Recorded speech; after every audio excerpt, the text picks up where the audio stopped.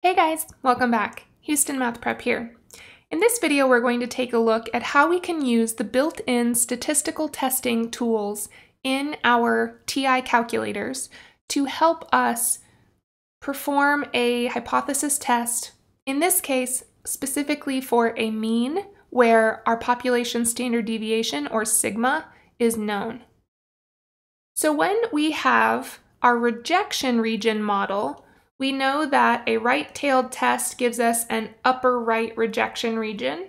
A left-tailed test gives us a lower rejection region. And a two-tailed test, we have rejection regions both in the left and the right tail. So this technology uses a little bit of a different uh, approach. Instead of calculating a rejection region, what it does is it calculates the probability, or what we're going to call the p-value, of having a sample with a mean of x bar given that mu is equal to the value in your null hypothesis. So if you truly are working with a if you are truly working with a population that does have the mean value that you've said in the null hypothesis, what is the probability of getting a sample with that x bar mean? So that's the probability that is being calculated here. So we'll then, once we have that p-value, that probability value, we're going to compare that to our level of significance.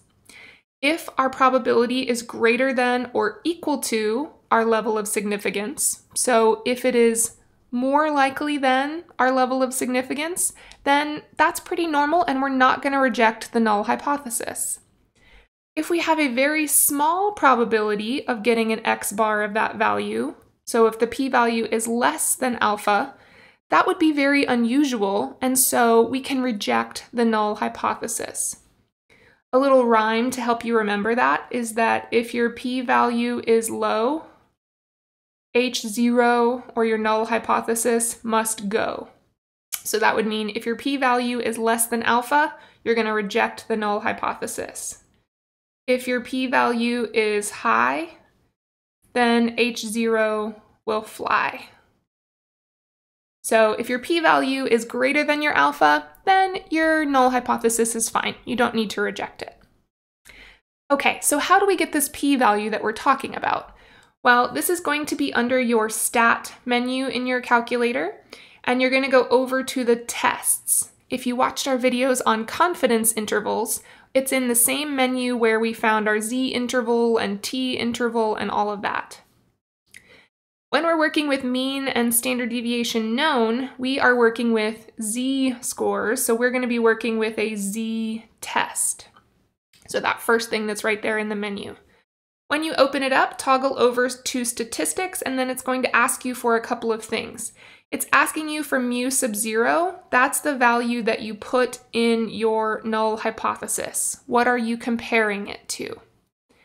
It's asking for your standard deviation for your population, your sample mean, how many were in your sample, and then it needs to know what your alternative hypothesis looks like. So is it a not equal to, is it less than, or is it greater than? Once you've put all that information in, when you hit calculate, it will give you a p-value. Then we can compare that to our level of significance and make a conclusion. So let's see some examples of this.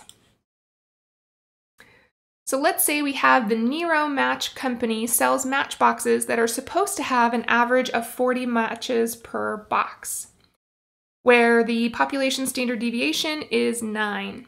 So let's say a random sample of 94 match boxes shows that the average number of matches per box is 43.1. Using a 1% level of significance, can you say that the average number of matches per box is more than 40? So I'm still going to need to write null and alternative hypotheses.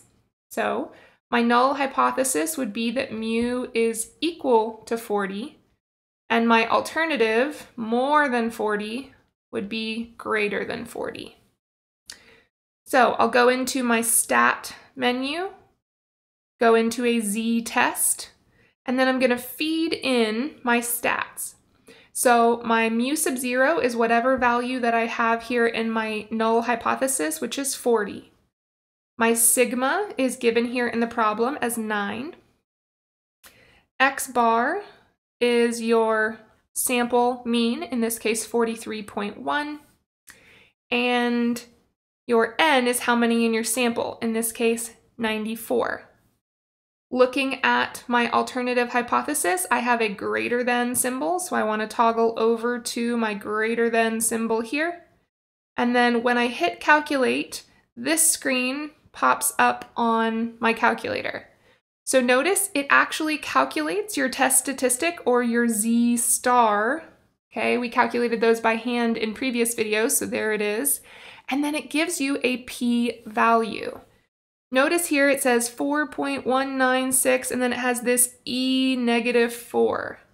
That means we have zero, or we have point and then we have three zeros, four, one, nine, six, and so on. So that's our p-value. And we want to compare that to our level of significance. So our level of significance, or 1%, is 0.01. So we kind of want to fill in the box here with greater than or less than. So here, our p-value is less than our level of significance, our alpha value of 0.01. So when our p-value is low, our p-value is smaller than our alpha, that means it's very unlikely to get an average of 43.1 if the true average is 40. So that means we would reject this null hypothesis. So here we could say there is sufficient evidence to reject the claim that the true mean number of matches is equal to 40. Okay, so when we compare our p-value here, we can do the same thing as what we did with the rejection regions, but doing it with technology. Let's do that one more time. So let's say that a machine in the student lounge dispenses coffee. The average cup of coffee is supposed to contain 7 ounces. Eight cups of coffee from the machine show the average content to be about 7.3 ounces with a standard deviation of 0.5 ounces. Do you think that the machine has slipped out of adjustment and that the average amount of coffee per cup is different than 7 ounces? Use a 10% level of significance. So again, before we can perform any hypothesis test, we have to have an alternative and null hypothesis. So our mu is equal to 7 ounces would be our null hypothesis. And here we're saying, are we different than 7? So that would be a not equal to alternative hypothesis. So again, if we're using technology here, going into our stat menu, going over to tests and selecting option one for z-test, make sure that you're on the stats menu there, and then enter in your information. Mu sub 0 is whatever you have in your null hypothesis, in this case 7. Your sigma is your population standard deviation here, given as 0.5. X bar is the mean of your sample, so in this case that would be 7.3. N is the number in your sample, so we sampled 8 cups of coffee. And then here we need to tell it what kind of test. So look at your alternative hypothesis. We have a not equal, so we're going to select that option and go down to calculate and hit enter.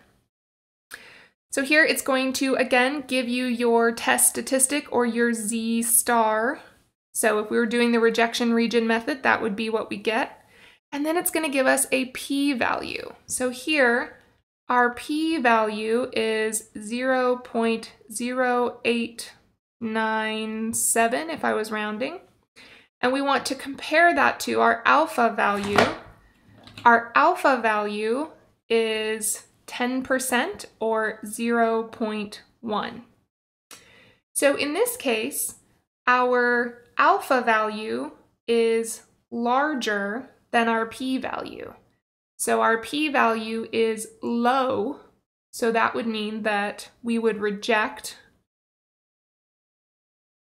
our null hypothesis here. So if the p-value is smaller than alpha, then that means it would be very unusual to have a sample with a mean of 7.3 if the true mean was 7.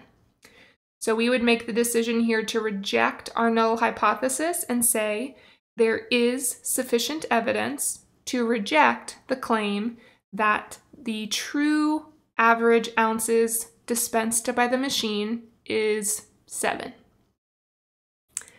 Alright guys, that does it for this video on using technology or p-values to help us do hypothesis testing with a known standard deviation. Until next time, we'll catch you in a future video.